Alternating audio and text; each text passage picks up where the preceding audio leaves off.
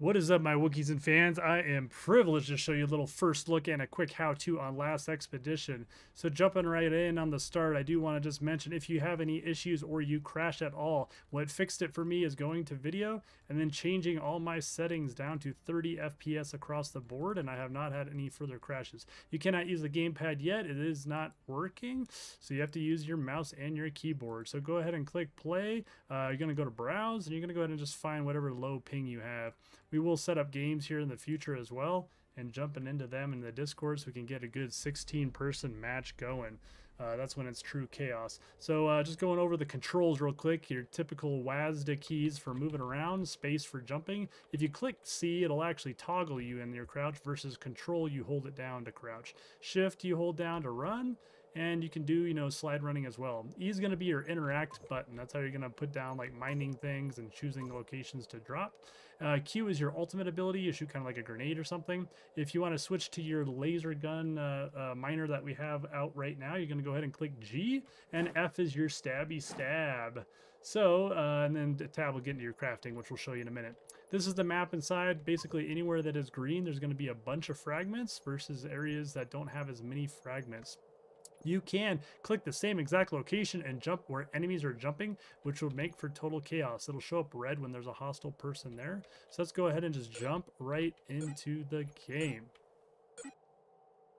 Once again, that's E to interact. That's how you go ahead and jump into the game. If you hold down right click while you have your laser gun out, it will bubble you up so you can see things that are around you. Clicking tab brings up your crafting menu. This is going to be the important thing. You can see your minerals over here. 800 Nyx is the purple stuff and Gala or Gaia is the green stuff.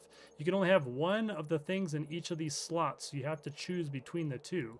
Uh, so if you click it, it'll start to craft it. You can see it crafting in the top right corner there, and it used up my minerals.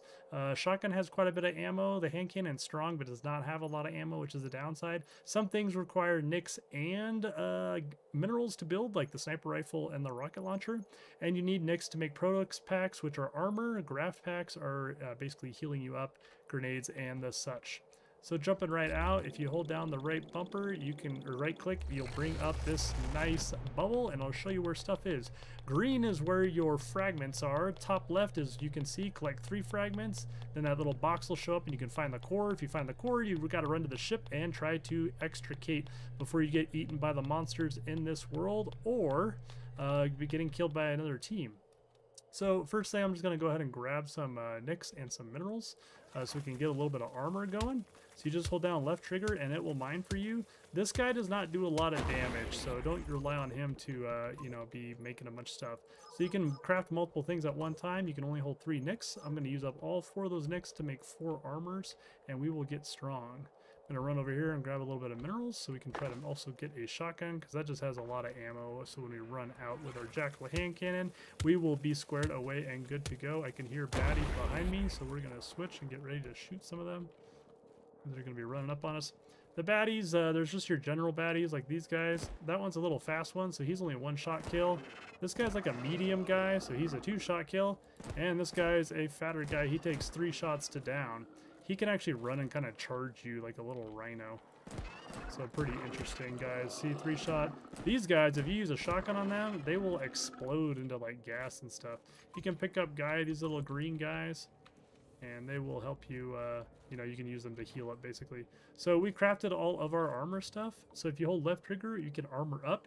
You have to stand still while you're doing it. So it'll be real interesting to see if in future updates of the game, if they allow us to move it around. I think moving around and healing would be super, uh, super cool and make it a lot more competitive if people run around, sliding around, trying to escape people while they're armoring up.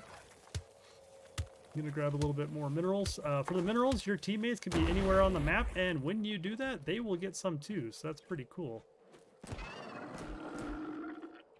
don't look down scope a lot because the reticule is just so good and so accurate. If they widen that up, uh, it'll force me to actually uh, change it up a little bit. So your armor does not uh, regenerate when uh, it gets damaged like that. So here is one of our guys. You hold down E to start to extract the fragment. You're going to drop a little mining tool. You don't have to stand here while it's doing it. Oh, wow. Did I let go early? Uh, but you do have to basically come back and collect it. Wow. That was kind of weird. Little glitch. All right. It's mining now. So when that happens, you drop that, it will spawn monsters. Big surprise, right? So we're going to be ready to go ahead and kill some baddies. Got quite a bit of minerals. I'm actually going to go ahead and build a shotgun as well. You can see top right, that is how long it takes to make a shotgun. If you need ammo, it costs a lot less, but you just click the same gun that you're looking for. Oh my gosh, that was funny. That you're looking for. Oh, I don't have my shotgun out yet. Oh wow, it takes a little longer than I thought. So you can see I'm out of ammo already. So if I go like this, click it, it'll start to craft me some ammo. Let's go ahead and use our shotgun to go ahead and uh, spray and pray. So there are special baddies as well. There's the Ravager. The Ravager literally will swallow you whole, one of your teammates whole. So they're uh, they're tough, and if you're playing solo, you better make sure you get some shots on them before uh, they eat you, basically. So if you ever get lost or you don't know where to go to find your next fragment, like again, you just pop out your bubble. If your teammates are inside your bubble, they can boost it and it'll make it bigger and bigger and bigger. You can do it three times and then it's easier to see like where things are. So let's go ahead and run over here and grab this fragment. If you're enjoying this content, I really do appreciate you guys clicking uh, like button, subscribing if you want, and clicking that Gala Gala link down below. You do not have to buy anything, but just clicking that link and going to the Gala site helps out my channel. So let's go ahead and extract another fragment here. This is number two. When other teams are in here, 4v4, v4, v4, the top left, you can see when those players also are getting fragments and or if they're getting the core. If you kill those teammates, they will drop the fragments. So you can actually hunt people down instead. So it'll be real interesting to kind of decide, uh, you know, what the best strategy is, just hunting people down versus uh, you know, collecting. When you're in that bubble, you can see little tiny red dots and stuff where there's enemies. You can also hear them shooting, obviously, and then go hunt them down. It is pretty, pretty fun. Uh, I do love the Jackal hand cannon. That's what I use to usually kill people. The sniper rifle is pretty fun as well. So we got some more fragments down here, so we'll just run this direction and do another bubble here in a minute to kind of find where those are. So you can see a lot of multitasking while you're running. I have crafted more armor packs, so I'm going to go ahead and actually uh, go ahead and pop both of those. And that's just to really try to make sure that I don't die during this video. But if we get eaten by Ravager, that's okay. I really hope that we'll at least get to see the core, because the core is pretty cool, what happens to the sky and everything as well. So I'm going to run by that next, because I don't mind it. Don't need any more at the moment. Let's go ahead and bubble up, see which direction. So straight. And then there's one over here too. Right here baddies dropping behind me again. Gonna grab this just because I know I'm gonna need more ammo here with the Jackal hand cannon soon. Think you can actually shoot those minerals too, but obviously I don't want to waste no ammo.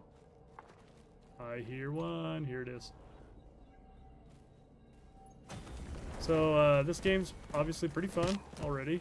Uh, it's obviously way more fun when there's a bunch of players in here too, because things just get really chaotic. Uh, I can't wait for them to really turn up the level too, and just make this like stuff a lot more difficult. Maybe them taking a lot more damage, doing more damage. Um, because, I mean, you know, I'm one person and I'm handling, you know, what is this, 10 of them or so? It'd also be interesting if they also switch it up at all to where, uh, you know, they attack you like Miner or something. A lot of different things they can do. So, either way, so fun already. And uh, the competition and stuff is going to be, uh, be pretty spicy once you get some really, really good gamers in here.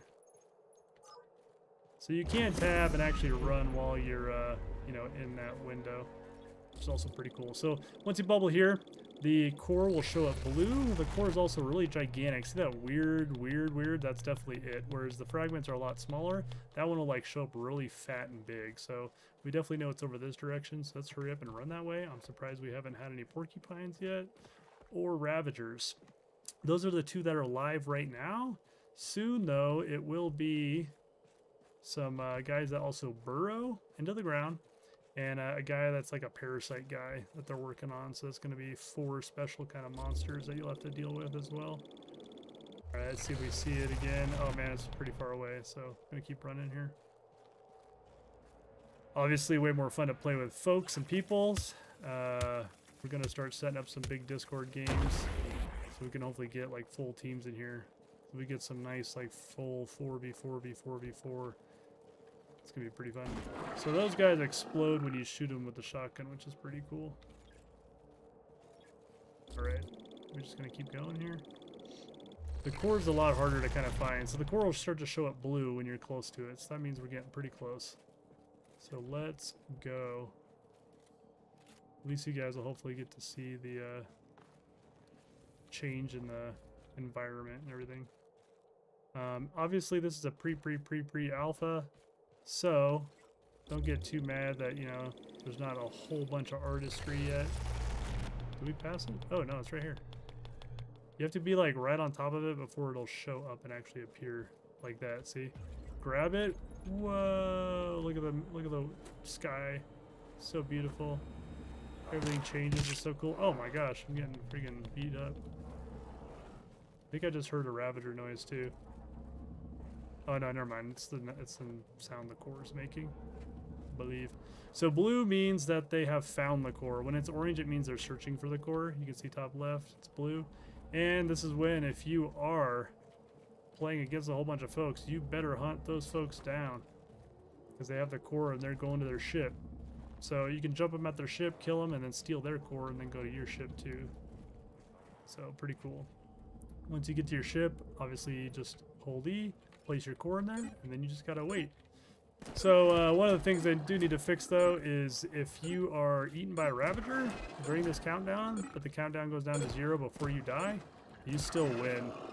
So uh, I think it makes sense for them to like go ahead and uh, make it to where if you're incapacitated by a monster, parasite or porcupine or ravager, that you cannot escape. And that's the first look. So obviously I didn't play against any players, so maybe a little bit more boring. But uh, when this game uh, gets all art arted up and artistic and look beautiful, this game's to be really fun, especially when everything's a lot stronger and a lot more difficult. Alright guys, well uh, thanks for watching obviously. That's a first look and a how-to on the last expedition. And uh, I'll make updates whenever we really need some. Hopefully I'll uh, stream some uh, sweet, awesome big matches. Thanks for watching and as always, stay warm Wookiees.